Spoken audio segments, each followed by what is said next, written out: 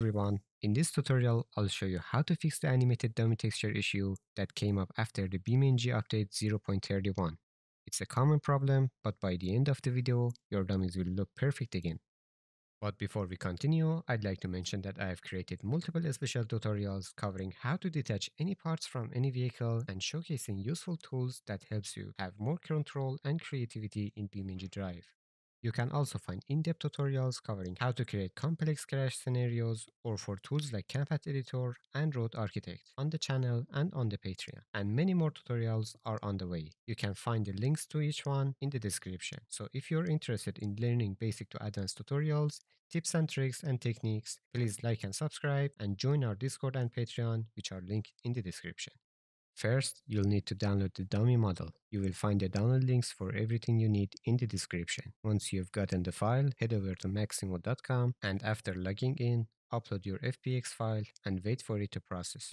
Next, you will need to place the auto-rigger nodes. Just follow the positions shown on the screen. After that, pick any animation from the list on the left side and once you click on one, it will be applied to your dummy model. And when you're happy with it, click on download character and don't change any settings. Just make sure to download it as an FBX file. You can install Blender either through Steam or directly from their official website. For older versions of Blender that are below 4.0, use this plugin, and for the newer versions, please use the plugin from the GitHub. You can find the links for both of them in the description.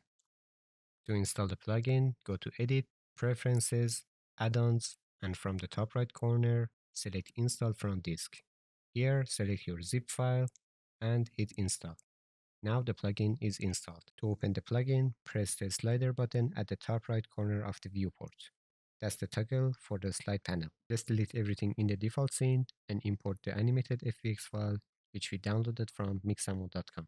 As you can see, I've already downloaded the necessary animations to save some time. Let's start by importing one. To preview the textures, press the button in the top right corner of the viewport.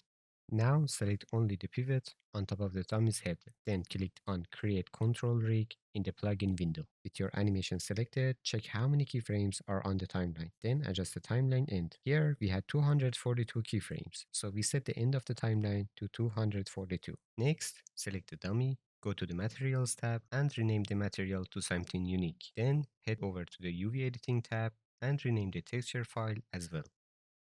Now with your animation selected, go to File, Export, and export it as a DAE file. I like to make a new folder for each animation to keep things organized. It's totally up to you, but I recommend it. To make the animations accessible from any map on the game, go to the repository folder, create a folder named art, and paste your exported animation inside it. On BeamNG, load into your map and press F11 to open the world editor. Then go to Window and open Asset Browser. If you already had BeamNG open before adding your files, make sure to refresh the directory in the Asset Browser to see the newly added files. Now just drag and drop the DAE animation file into your scene and as you can see, the animation now works perfectly without any texture issue. Let's quickly go through it one more time, just in case you missed something in the first time around. After importing your FBX file, select the pivot on top of the head and create a control rig using the plugin. Next, select a dummy, go to the Materials tab and rename the material to something unique.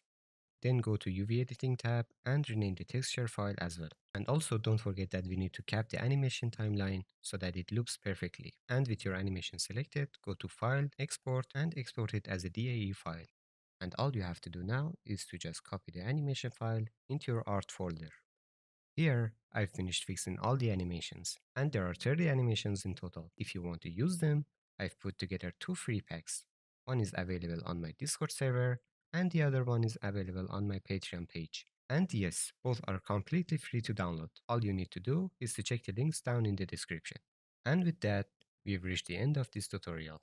I hope this tutorial was helpful to you, and if it was, don't forget to like, subscribe, and let me know in the comments what you would like to learn next. Also, feel free to join our Discord and Patreon community, which both are linked in the description. Thank you so much for watching, and as always, happy crashing.